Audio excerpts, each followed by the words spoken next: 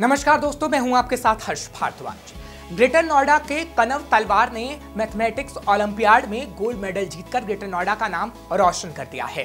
प्रधानमंत्री ने मन की बात में ओलंपियाड में गोल्ड मेडल विजेता कनव तलवार से फ़ोन पर बातचीत की है, जिससे पूरे ग्रेटर नोएडा में खुशी की लहर का माहौल है।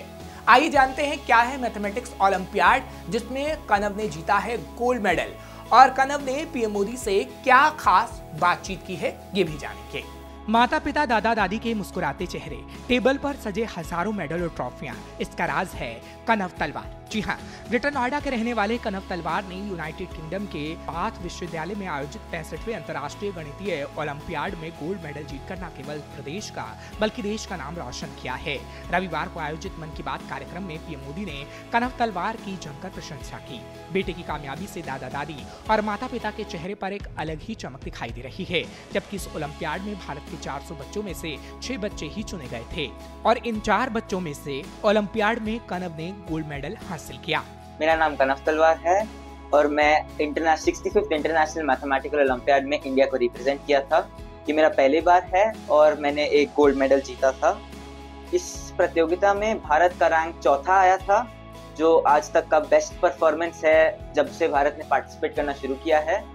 इस साल हमारे चार गोल्ड मेडल और एक सिल्वर मेडल और एक ऑनरेबल मेंशन आया था जो आज तक का बेस्ट परफॉर्मेंस है। ग्रेटर नोएडा के सेक्टर अल्फ़ा ए के ई ब्लॉक में रहने वाले कनक की इतनी बड़ी उपलब्धि हासिल करने के बाद भारत के प्रधानमंत्री ने उनसे फ़ोन पर बात की।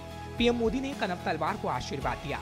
कनव ने पीएम मोदी से हुई बातचीत के खास पहलू आज का नोएडा के साथ शेयर किए। इस दौरान वो बहुत खुश दिखाई दिए। आज प्रधानमंत्री से बात करके मेरा ये एक ऐसा अनुभव था जो मैं जीवन में कभी नहीं भूलूँगा। प्रधानमंत्री ने जिस तरीके से हमसे बात किया और जिस तरीके से उनने मोटिवेट किया हम सबको और और भी मैथमेटिक्स को बढ़ाएँगे। बेटे की इतनी बड़ी उपलब्धि के मौके पर माता पिता बहुत खुश दिखाई दे रहे थे। कनक तलवार की माँ का कहना है कि बेटे की इस उपलब्धि से हम बहुत खुश हैं। हमारी खुशी का कोई अब ठिकाना नहीं।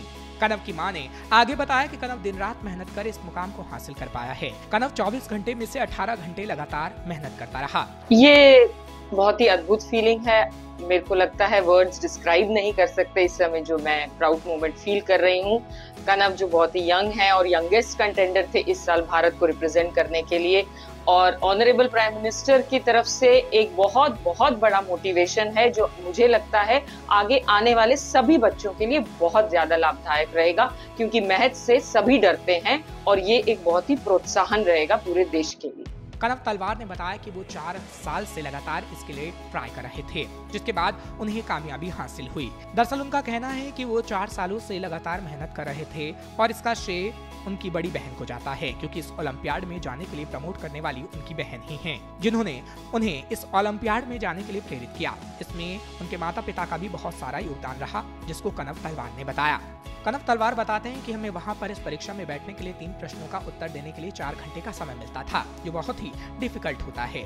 और इसके साथ साथ अन्य कठिनाइयों का भी वो सामना कर रहे थे। मगर आशा के किरण के साथ उन्हें गोल्ड मेडलिस्ट होने का सौभाग्य प्राप्त हुआ। आपको बता दें कि कनव कई बड़ी उपलब्धियाँ हासिल कर चुके हैं।